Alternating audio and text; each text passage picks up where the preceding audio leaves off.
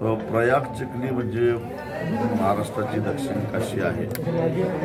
आणि या ठिकाणी दूधगंगा या ठिकाणी कुंभी कासारी आणि भोगावती नदीचा संगम झालेला आहे. दत्त महाराजांचं पवित्र तीर्थक्षेत्र आहे. आणि इथं या संगमावर येऊन दत्त महाराजांची पूजा करून त्यांचा आशीर्वाद घेऊन. हे चिखली गाव म्हणजे कोल्हापूर जिल्ह्यातलं सर्वाधिक पूरग्रस्त बाधित गाव आहे. आणि इथून पंजिंगेच्या प्र- परिक्रमेला सुरुवात केलेली आहे. उद्देश हा आहे की पाच दिवस काय अवस्था झाली या पंचगंगा काठावरच्या लोकांची आणि एकूणच कृष्णा आणि तिच्या उपनद्यांच्या खोऱ्यात असणाऱ्या छोट्या छोट्या नद्यांच्या पत्र पात्रातल्या गावांची त्याच्यावर प्रकाश टाकावा आणि पूरग्रस्तांच्या वेदना वेशीवर मांडाव्या या उद्देशानं ही पंजिंगा परिक्रमा सुरू केलेली आहे.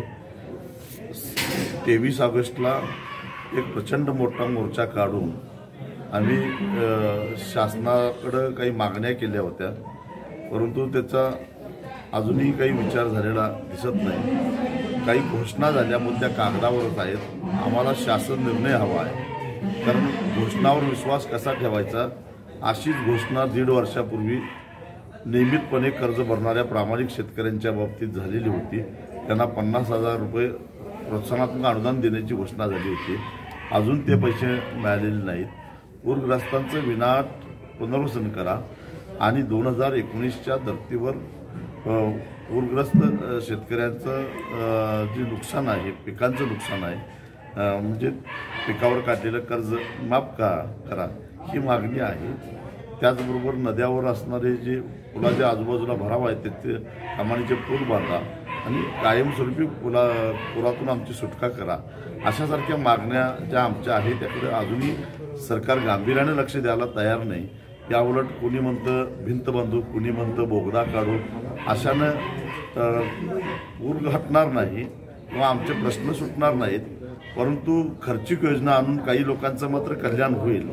आम्हाला या पुराच्या तावडीतून सुटका पाहिजे कारण यात दोष शेतकऱ्यांचा नाही सामान्य माणसाचा नाही आहे. पर्यावरणामध्ये काही फेरबदल झाले असतील किंवा हवामानामध्ये बदल झाले असतील वैश्विक तापमान वाढीचे हे काही साईड इफेक्ट्स असतील तर त्याच्यावर उपाययोजना शेवटी भारत सरकारनं आणि महाराष्ट्र सरकारनं करायची आहे आणि पुरापासून आमचा बचाव करायचा आहे.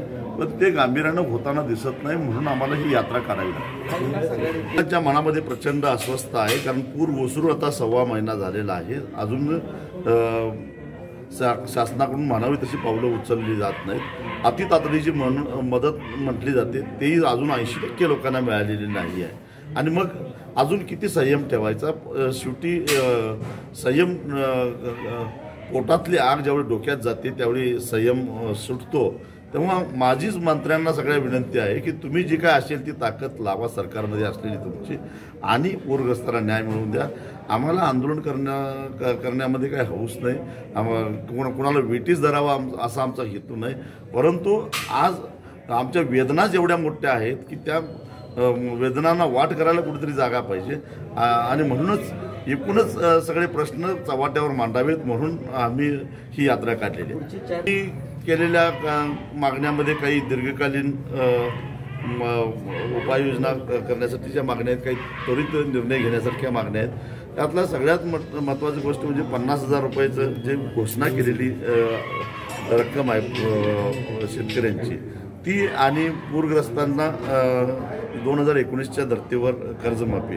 ही घोषणा करा घोषणा करून त्याची शासन निर्णय करावा जे आर काढावा. कारण जे आर काढल्याशिवाय आम्ही विश्वास ठेवू नये. मंगळवारी कॅबिनेट समोर आकडा आलेला आहे आणि राज्यामध्ये एकूण चार लाख हेक्टर क्षेत्र हे अतिवृष्टी आणि महापुरानं बाधित झालेलं आहे. आता त्यांनी निर्णय घ्यायचा आहे. गेल्या कॅबिनेटमध्ये चर्चा झाली पण निर्णय झाला नाही. निर्णय करा असं आमचं.